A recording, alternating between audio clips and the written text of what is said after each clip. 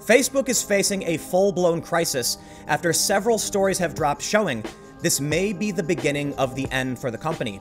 It was recently reported that the platform lost 15 million users in the past couple years. And while that's not a whole lot compared to its total user base, it's mostly millennials. Young people don't find the platform valuable anymore and are leaving. We're now learning that several deals Facebook made are being criminally investigated, and a grand jury has subpoenaed some of the companies that are working with Facebook. And on top of that, two of Facebook's top executives have just left the company. Mark Zuckerberg is desperately trying to restructure the product they offer to make it more valuable, but it would seem like it's not working.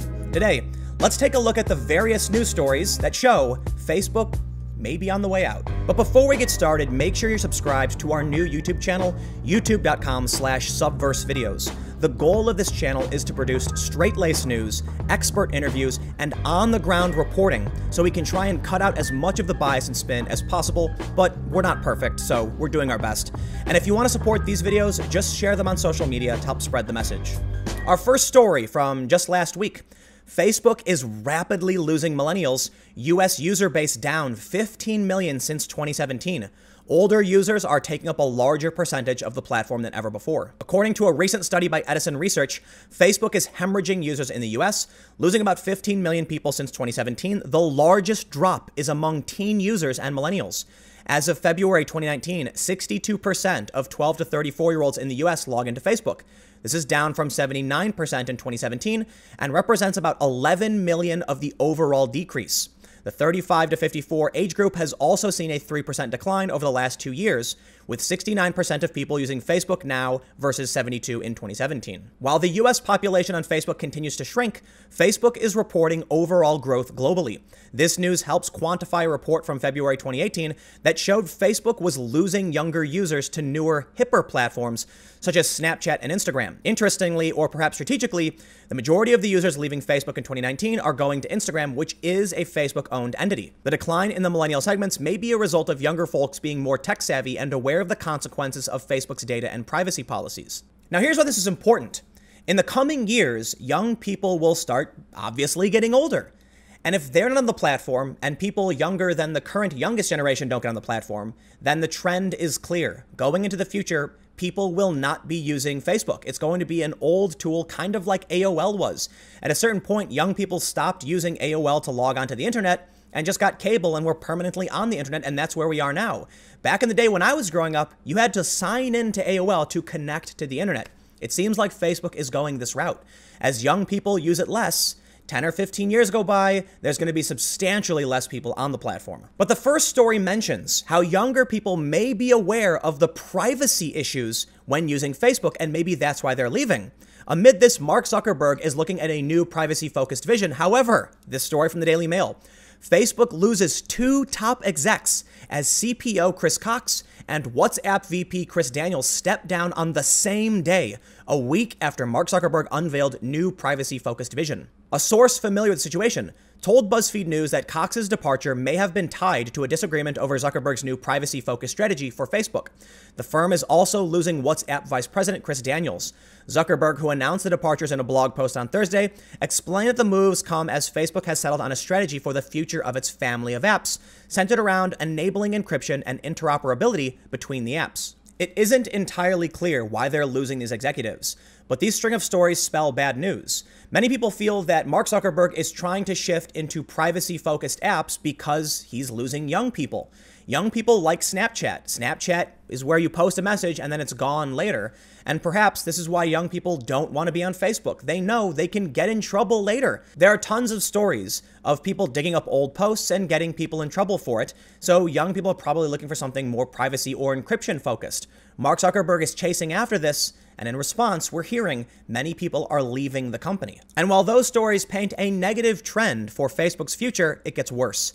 The New York Times reported just a few days ago Facebook's data deals are under criminal investigation. Federal prosecutors are conducting a criminal investigation into data deals Facebook struck with some of the world's largest technology companies, intensifying scrutiny of the social media giant's business practices as it seeks to rebound from a year of scandal and setbacks.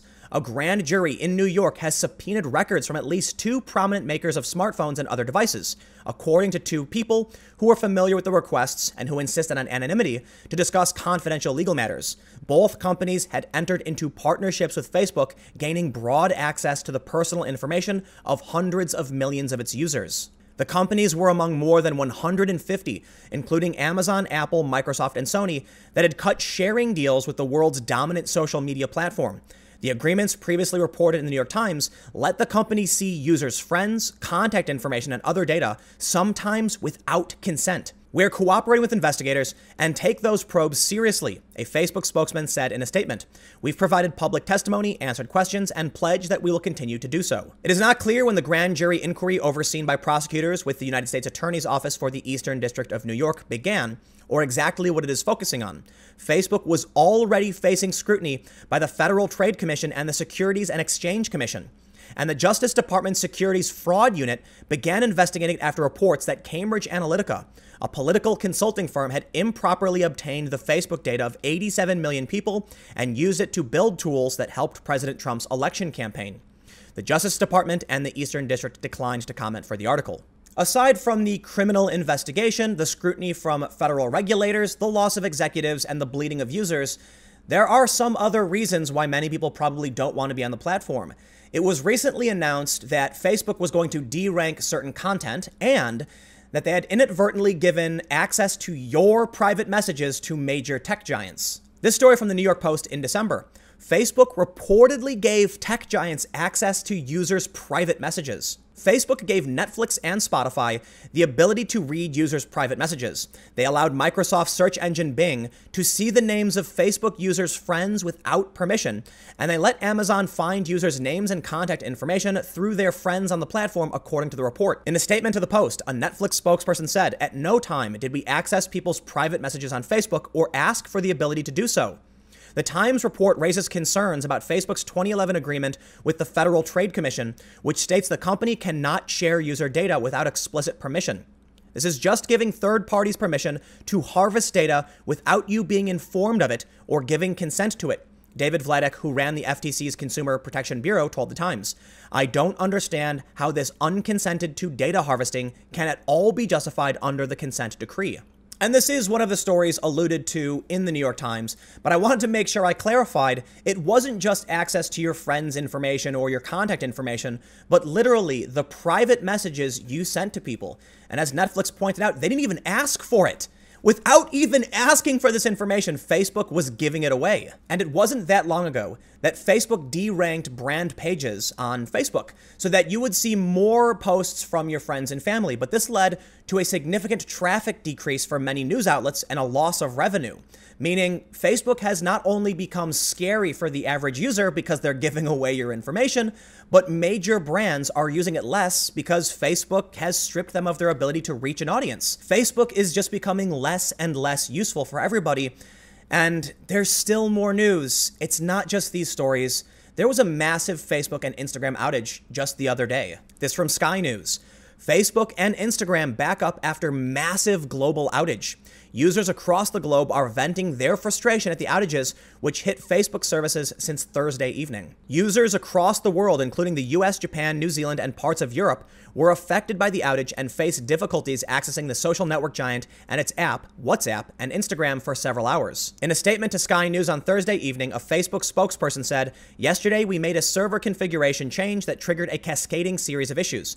As a result, many people had difficulty accessing our apps and services. We have resolved the issues and our systems have been recovering over the last few hours. We are very sorry for the inconvenience and we appreciate everyone's patience.